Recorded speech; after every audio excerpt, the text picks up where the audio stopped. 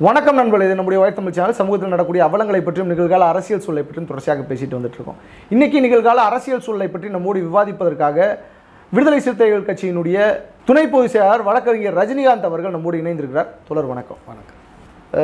பார்த்திருந்திருப்பீங்க கடந்த இரண்டு மூன்று நாட்களாக பாரதிய ஜனதா கட்சியினுடைய அந்த உண்ணாவிரத போராட்டம். குறிப்பாக அந்த உண்ணாவிரத போராட்டம் தமிழ்நாட்டு மக்களை அச்சுறுத்தும் வகையில் இருக்கிறது. தமிழ்நாட்டில் இருக்கக்கூடிய மக்களை பயமுறுத்துகிறது மிரட்டுகிறது. குறிப்பாக தமிழ்நாட்டை ஆண்டு கொண்டிருக்கக்கூடிய திராவிட முன்னேற்ற கழகத்தினுடைய தலைவரும் தமிழ்நாட்டினுடைய முதல்வரையும் சீண்டி பார்க்குது அப்படின்ற மாதிரிலாம் பேசியிருக்கிறாங்க. பேசிகிட்டு இருக்கிறாங்க சமூக வலைதளத்தில். குறிப்பாக இந்த பிரச்சனை எதுக்காக வந்துச்சுன்னா ஒரு இராணுவ அதிகாரி கொலாடி சண்டையில் செத்து போகிறாரு அவர் வெட்டி கொண்டுடுறாங்க திமுகவினுடைய கவுன்சிலர் ஒருத்தர். உடனடியாக திமுக அரசு அவர் மீது எந்த விதமான தயவுதட்சணியமின்றி குடும்பத்தோடு கைது செய்கிறாங்க உடனே நடவடிக்கை எடுக்கிறாங்க. ஆனால் உடனே அண்ணாமலை வந்து என்ன பண்ணுகிறார் அதை ஒரு போராட்டமாக கொண்டு வந்து உண்ணாவிரத போராட்டமாக மாற்றுகிறார். அந்த போராட்டத்தில் தடா பெரியசாமி வந்திருக்கிறார். தொடர்ந்து இந்த மாதிரிலாம் பேசிட்டு இருக்காங்க. குறிப்பாக அதில் கர்னல் பாண்டியன் பேசின ஒரு விஷயம். எங்களுக்கும் குண்டு உருட்ட தெரியும். துப்பாக்கி இருக்குது வி ஆர் மில்டன்ட் இராணுவ அதிகாரிகள். நூறு பேரை மேடையில் அமர்த்தி வைத்துக்கொண்டு பேசுகிறார். எப்படி பார்க்குறீங்க? தமிழ்நாட்டுக்கு அடுத்தது இவங்க இராணுவமயமாக்குறதுக்காக ஏதாச்சும் பண்ண போகிறாங்களா இல்லை இந்த இராணுவத்தை வைத்து ரவுடிகளை வைத்து அரசியல் செய்ய முடியல? பெண்களை வைத்து அரசியல் செய்ய முடியல? எல்லா பெண்களும் பயந்துக்கிட்டு ஓடுறாங்க. பாரதிய ஜனதா கட்சியில் இருந்து. நடிகர்களை வைத்து எதுவும் செய்ய முடியலை. எனவே இப்போது இராணுவத்தை கொண்டு வந்திருக்கிறாங்களா? அதாவது பாரதிய ஜனதா கட்சிக்கு அரசியல் செய்வதற்கு மக்கள் சார்ந்த அரசியல் செய்வதற்கு எந்த விதமான செயல் திட்டமும் கிடையாது. மக்கள் சார்ந்தவர்கள் சிந்திப்பதும் கிடையாது. இது தமிழகத்தில் மட்டுமல்ல இன்றைக்கி தான் தமிழ்நாட்டை அதை பற்றி பே அந்த மாதிரி பேசுகிறாங்க இந்தியா முழுவதும் அவர்கள் வந்து இராணுவத்தை கொண்டு அரசியல் செய்வதற்கு தான் அவங்க வந்து விரும்புகிறாங்க அதை தான் செஞ்சுக்கிட்டு இருக்காங்க. நீங்கள் தமிழ்நாட்டு மக்களுக்கு மட்டுமல்ல இந்திய மக்களுக்கோ நாங்கள் இவ்வளவு பேருக்கு நான் வேலை வாய்ப்பு கொடுத்துருக்கேன்.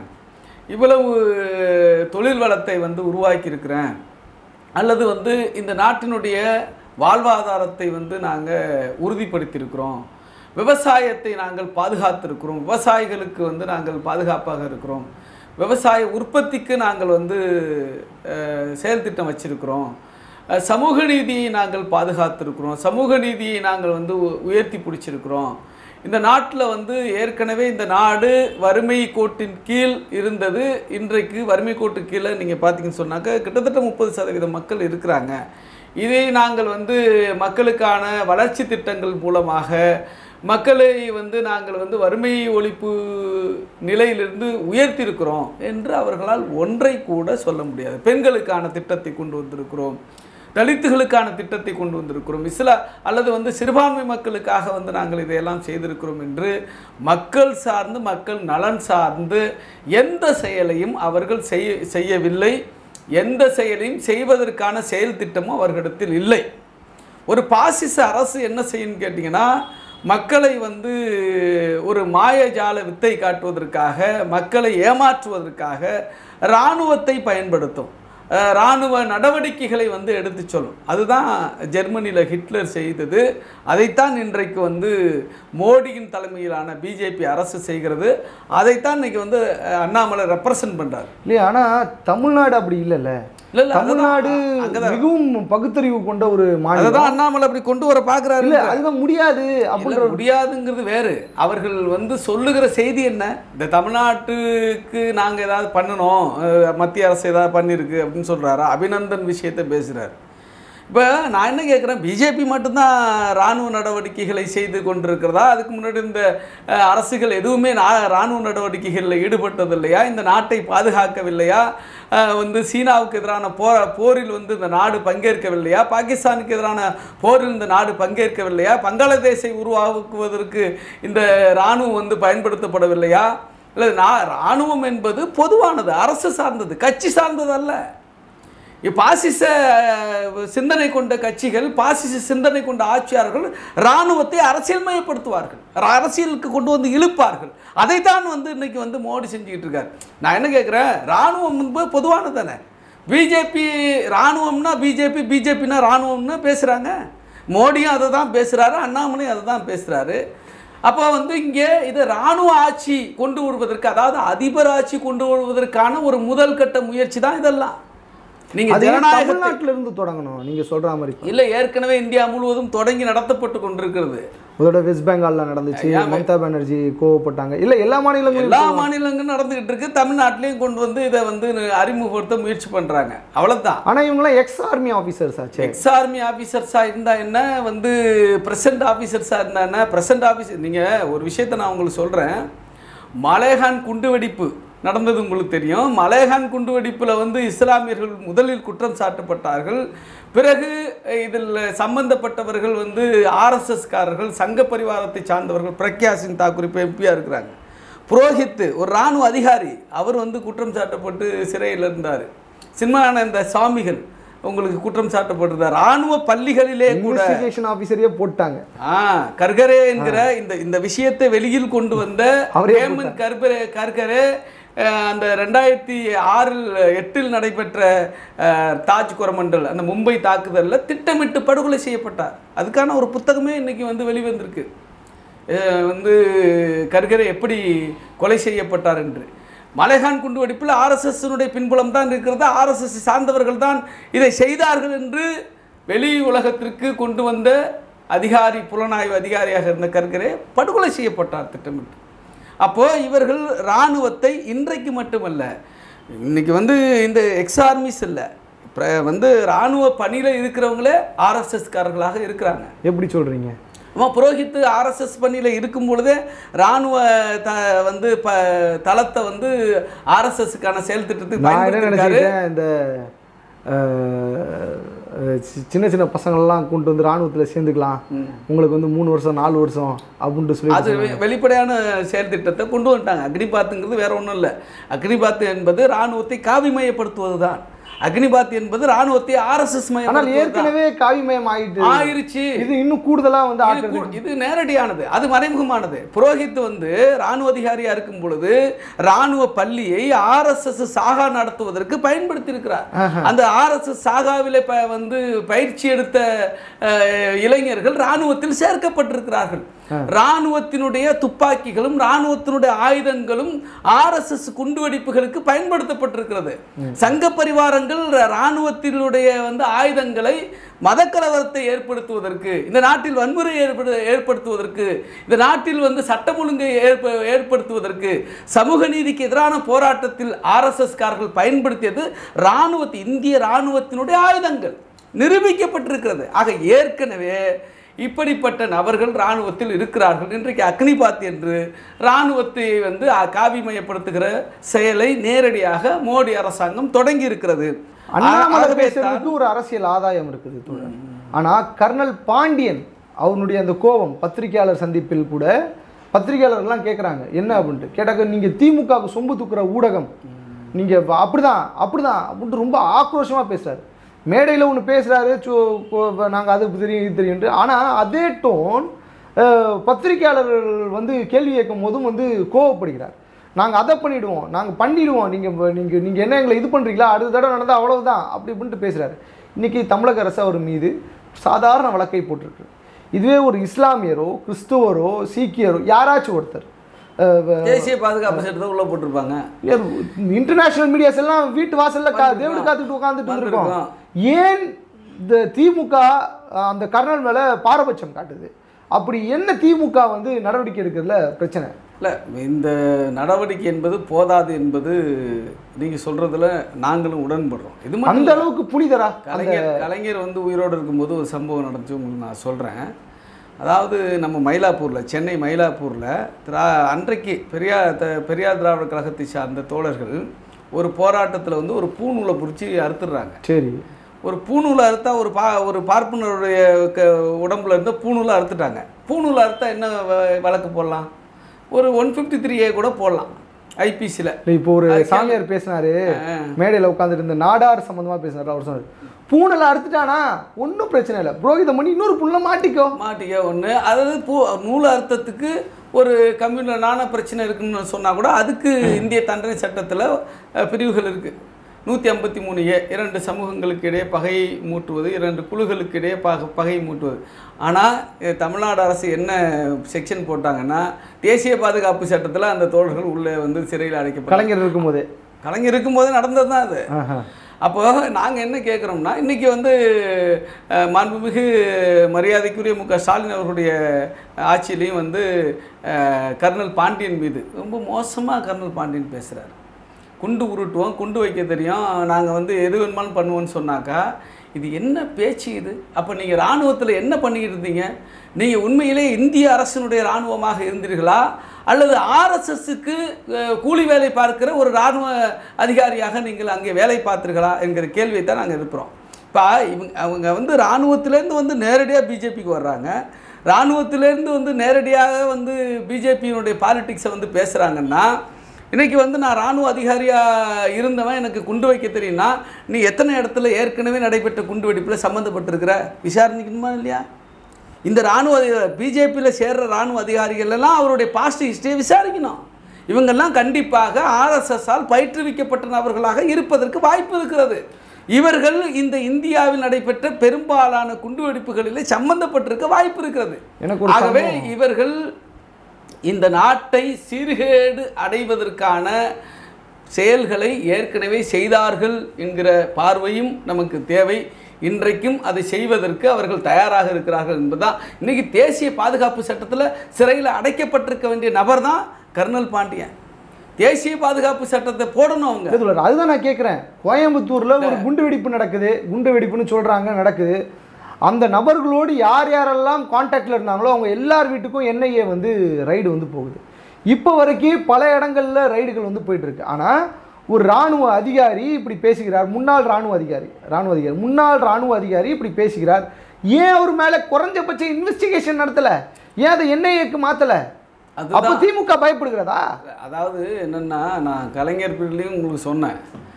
கலைஞர் பீரியடில் வந்து அது மாதிரி கலைஞர் அப்படி இருப்பாருன்னு நம்ம எதிர்பார்க்க வேண்டாம். அவர் வந்து கண்டிப்பாக நிச்சயமாக வந்து திராவிட இயக்கங்களை வந்து எதிராலாம் பார்க்குற ஒரு பார்வை கொண்டவர் கிடையாது. ஆனால் கலைஞர் முதலமைச்சராக இருந்தாலும் தளபதி மு க ஸ்டாலின் அவர்கள் முதலமைச்சராக இருந்தாலும் அல்லது மரியாதைக்குரிய செல்வி ஜெயலலிதா அவர்கள் முதலமைச்சராக இருந்த போதிலும் இங்கே அனைத்து அரசு அரசு நிர்வாகத்தை கட்டுப்படுத்தக்கூடிய நிர்வாகத்துறையில் இருக்கிற செயலர்கள் அரசு செயலர்கள் யாருன்னு கேட்டிங்கன்னா பெரும்பாலும் பிராமணர்கள் இருக்கிறார்கள். அவர்கள் தான் முடிவெடுக்கிற இடத்துல இருக்கிறாங்க. அப்போ இந்த டிசைடிங் அத்தாரிட்டி டிசிஷன் மேக்கிங் பாடியில் யார் இருக்கான்னு கேட்டிங்கன்னா எல்லாமே பிராமின் தான் இருக்கிறாங்க. நீங்கள் வந்து நீங்கள் பார்த்தீங்கன்னா மூவாயிரத்தி ஐநூறு பக்கமான வந்து ஐஏஎஸ் அதிகாரிகளில் கிட்டத்தட்ட ரெண்டாயிரத்தி எழுநூறு எழுநூற்றம்பது பேர் வந்து பார்ப்பனர்கள் தான் அதிகாரிகளாக இருக்கிறான். இந்தியா முழுக்க அரசு செயலாளர்களாக இருக்கிறான். டிசைடிங் அத்தாரிட்டியாக இருக்கிறான். கவர்னிங் அத்தாரிட்டியாக இருக்கிறான். அப்படி இருக்கும் பொழுது இந்த நாடு உண்மையிலேயே வந்து யார் ஆட்சி கீழே இருக்குன்னு சொன்னாக்கா பா பார்ப்பனர்களுடைய ஆட்சி கீழே தான் இருக்குது அதனால தான் இப்படிப்பட்ட நிலையெல்லாம் நடந்துகிட்டு இருக்கு. நீங்க அண்ணா திராவிட முன்னேற்ற கழகத்தின் மீது இப்படி குற்றச்சாட்டு வச்சு தான் அவர்களுடைய கூட்டணியிலிருந்து வெளியில வந்து திராவிட முன்னேற்ற கழகத்தோடு கூட்டணியை வந்து வைத்தீர்கள். மீண்டும் அதே குற்றச்சாட்டை திமுக மீது வைப்பது எப்படி சரியாக? இல்லை இல்லை. அதே குற்றச்சாட்டை வைக்கிறோம்னா நாங்கள் சொல்கிறத நல்லா புரிஞ்சுக்கணும். ஆனால் ஆட்சியாளர்களை வந்து குற்றம் சாட்டுவதை விட நாங்கள் இந்த நிர்வாகத்துறையை தான் குற்றம் சாட்டுறோம். ஏன்னா நீங்கள் வந்து ஆட்சியாளர்கள் சொன்னாலும் செயல்படுத்த வேண்டிய இடத்தில் இருப்பவர்கள் நிர்வாகத்துறையினர். ஆட்சியாளர் வந்து கையெழுத்தான் போடுவார். ஆனால் அது நடைமுறைப்படுத்த வேண்டியது ஒரு ஐஏஎஸ் அதிகாரி. அந்த ஐஏஎஸ் அதிகாரி வந்து தான் கீழே இன்ஸ்ட்ரக்ஷன் கொடுக்கணும். கீழ்நிலை அதிகாரிகளுக்கு இன்ஸ்ட்ரக்ஷன் கொடுக்கணும். அந்த ஐஏஎஸ் அதிகாரி அது அரசு செயலாளர் ஒரு ஆர்எஸ்எஸ் சிந்தனை கொண்டவராக இருக்கும் பட்சத்தில் ஒரு மனு மனுவாத சிந்தனை கொண்டவராக இருக்கும் பட்சத்தில் அது அப்படி தான் நடக்குது? அப்படி தான் நடந்துக்கிட்டு இருக்குது. ஆகவே தான் வந்து அனைத்து துறைகளிலும் சமூக நீதி வேண்டும் என்று நாம் கோ போராடுகிறோம். தந்தை பெரியார் காலத்திலிருந்து புரட்சியாளர் அம்பேத்கர் காலத்திலிருந்து நாம் போராடுவது. இன்றைக்கு எங்கள் தலைவர் டாக்டர் எழுச்சி தமிழர் முதன்மையாக பிரச்சனையாக முன்வைத்து போராடுவது சமூக நீதி பிரச்சனை. சமூக நீதிக்கு வந்து அதுதான் வரேன். இப்போ திருமாவளவன் முக்கியமா அந்த கூட்டத்தை இதுக்கு போட்டிருந்தாலுமே கூட தடா பெரியசாமி உங்கள் க முன்னாள் பங்காளி மாமச்சான் கூட சொல்லிக்கலாம். இப்போ மாமச்சான் சண்டை மாதிரி தான் நடந்துகிட்ருக்கு அவருடைய வீட்டையும் வாகனத்தையும் உடைத்ததாக ஒரு குற்றச்சாட்டை எழுப்புகிறார். ஏழு பேர் கத்தியோடு வந்தாங்க. அவரை பார்த்த உடனே பயந்து ஓடிட்டாங்க. கார் கண்ணாடியை உடைச்சிட்டாங்க. வீட்டில் கல் விட்டாங்க. காரில் கல் விட்டாங்க அப்படின்ற மாதிரி ஒரு குற்றச்சாட்டு. இதை கண்டித்தும் தான் அந்த போராட்டம் நடைபெற்றிருக்கிறது. இதில் அண்ணாமலை பேசுகிறார். என்னென்னா கல்லூட கற்றுக் கொடுக்குறவங்களுக்கு அதுதான் தெரியும். அதாவது என்ன ஒரு குறிப்பிட்ட சமூகத்திற்காக அவர்களை அரசியல் அவர்களுடைய சொந்த அரசியல் ஆதாய ஆதாயத்திற்காக இந்த பட்டியலின சமூகத்தை சேர்ந்தவர்களை பயன்படுத்திக் கொள்கிறார்கள். அவர்களை அடியாட்களாக பயன்படுத்திக் கொள்கிறார்கள். கல்லை எடுத்து வீச சொல்லுகிறார்கள். நீங்கள் பயப்படாதீங்கண்ணே பயப்படாதீங்க. ஒன்றும் பிரச்சனை கிடையாது. அடுத்த நாங்கள் உங்களுக்கு வந்து இந்த காரை சரி பண்ணி தரோண்ணே மீண்டும் வந்து உடைச்சாங்க அப்படின்னு சொன்னால் உங்களுக்கு புது கார் வாங்கி தரோண்ணே அதுவும் இல்லையா அவங்களுக்கு ஹெலிகாப்டர் வாங்கி தரோன்னு பேசுகிறாங்க அதாவது குறிப்பாக இதில் திருமாவளவன் ரொம்ப முக்கியமான ஒரு ஆள். அவர் மீது ஒரு மிகப்பெரிய பாலியல் ரீதியான குற்றச்சாட்டை வைத்துவிட்டு மீண்டும் மீண்டும் அதை உண்மை உண்மை என்று சொல்லுகிறார். ஒரு பெண் பேசினாங்களா தடா பெரியசாமிக்கு ஃபோன் பண்ணி த- அண்ணே இன்னைக்கு தானே அவனுடைய முகத்திரையவே நீங்கள் கிழிச்சிருக்கிறீங்க. திருமாவல்லவனை எதிர்த்து திருமாவல்லவனை எதிர்த்து பேசக்கூடிய ஒரே ஆம்பளை நீங்கள் தானே இப்போ தானே நான் ஒரு ஆம்பளையை பார்க்குறேன். இனிமேல் நான் எங்கே வேணால் பேசுவேனேன்னு பேசினாங்களாம். அந்த கூட்டத்தில் பேசியிருக்காரு. எப்படி பார்க்குறீங்க அதாவது கல்லுவிட கற்றுக் கொடுக்குறது வன்முறையை கற்றுக் கொடுக்கறது தீ வைக்க கற்றுக் கொடுக்கறது இந்த நாட்டில் சட்டம் ஒழுங்கு பிரச்சனை ஏற்படுத்த கற்றுக் கொடுக்கறது குண்டு வைக்க கற்றுக் கொடுக்கறது தன்னுடைய காரை தானே அடிச்சுக்கிட்டு தன்னுடைய வீட்டில் தானே பெட்ரோல் குண்டு போட்டுக்கிட்டு தன்னுடைய ஆர்எஸ்எஸ் அலுவலகத்தில் தானே வந்து பெட்ரோல் குண்டை போட்டுக்கிட்டு அதுக்காக அதை பயன்படுத்தி பாதுகாப்பு வாங்குறது இதெல்லாம் வந்து பாரதிய ஜனதா கட்சி ஆர்எஸ்எஸ்க்கு சங்க பரிவாரங்களுக்கு கைவந்த கலை. இந்தியாவில் இந்தியா முழுவதும் கைவந்த கலை. நீங்கள் வந்து மண்டல் கமிஷன் வரும்பொழுது முழுக்க முழுக்க டெல்லி மத்திய பிரதேசம் ராஜஸ்தான் உள்ளிட்ட வடமாநிலங்கள் தீப்பற்றி எரிந்தது. எல்லாம் செஞ்சவன்லாம் ஏபிவிபிக்காரன் எல்லாம் செஞ்சவன்லாம் வந்து சமூக நீதிக்கு இடஒதுக்கீட்டை எதிர்த்த கும்பல். இதையெல்லாம் செய் வந்து மாணவர்களுக்கே கற்றுக் கொடுத்தவர்கள் ஆர்எஸ்எஸும் சங்க பரிவாரங்களும் இந்த பாஜகவும் தான். பிசிக்கு அப்படி கற்றுக் கொடுக்கல. அதுக்கு தான் எங்கள் தலைவர் வந்து நேரடியாக வந்து சவால் விடுறாரு. எங்கள் ஒன்றிய செயலாளர் ஒருத்தர்கிட்ட கருத்தியல் ரீதியாக பேசுறதுக்கு உன்னுடைய மாநில பொறுப்பால் தயாரான்னு கேட்குறாரு நாங்கள் அப்படி கற்றுக் கொடுக்கவில்லை. அன்றைக்கு வந்து தடா பெரியசாமி வீட்டுக்கு வந்து போனதா சொல்லப்பட்ட அந்த விஷயத்தை கூட நாங்கள் வந்து விசாரிக்கும் பொழுது அந்த வழியாக அந்த இளைஞர்கள் ஈரோடு போயிருக்கிறாங்க. ஈரோடு வந்து போகும் பொழுது அதான் இப்போ திருமாவளவன் பாதுகாப்புல இருக்கிறாங்க. கரெக்ட் அதெல்லாம் கிடையாது. அவருடைய அவரு அவ- அவருக்கும் அதாவதுங்க அவர் ஒரு தலைவர். அவரு அவரை வரவேற்கிறதுக்கு யார் வர்றாங்க? யார் சால் வந்து எடுக்கிறாங்க? அப்படி அப்படிலாம் தடா. பெரியசாமி. அன்றைக்கு எனது வீட்டில் கல் உடைத்தவர் கல்லை விட்டவர்கள் என்னை தாக்குவதற்காக வந்தவர்களை திருமாவளவன் சாமியை போன்ற ஒரு பொய்யனை தமிழகம் பார்த்திருக்க முடியாது ஏங்க பொது மேடையில பேசுறாங்க அதான் பொய் அதுதாங்க பொய்யை வந்து ரொம்ப வேற யாரா இருக்கும்? நான் தான் சொல்றேனே அதாவது அந்த பக்கம் போய் என்னுடைய கேள்வி என்ன. யாரா இருக்கும் என்னது யாருக்கு யாருக்கும் மோதல் நடந்துட்டு இருக்கு.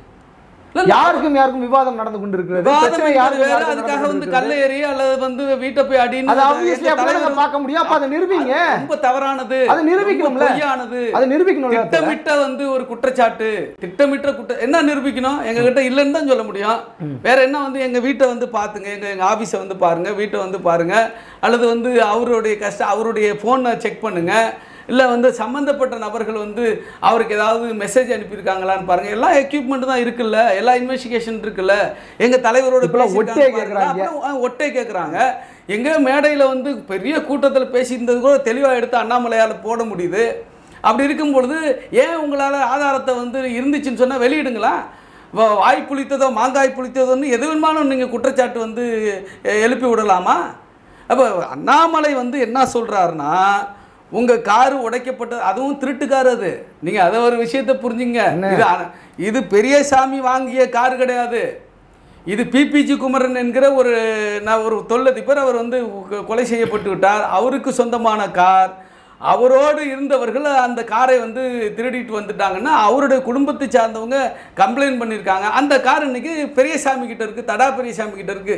ஒரு திருட்டு காரை வைத்து கொண்டிருக்கிற ஒரு திருட்டு ஒரு கும்பலாக இருக்கிற பாஜக காரர்கள் எங்களை பார்த்து கல்லூட கற்றுக் கொடுக்கிறார்கள் என்று சொல்வதற்கு என்ன அருகதை இருக்கிறது? தடா பெரியசாமிக்கு என்ன அருகதை இருக்கு? எங்கள் தலைவரை பற்றி தரைக்குறைவாக பேசுவதற்கும் விமர்சிப்பதற்கும். தடா பெரியசாமி தன்னுடைய உயிரை காப்பாற்றிக் கொள்வதற்காக இந்த போலீஸ் கிட்ட இருந்து தப்பிச்சுக்கிறதுக்காக எங்க தலைவர் வந்து இவரை கட்சியிலே சேர்த்துக்காத போது நான் விசிகா விசிகான்னு சொல்லிக்கிட்டு இருந்தவர். இவர் வந்து எங்க தலைவரை வளர்த்து விட்டாரா?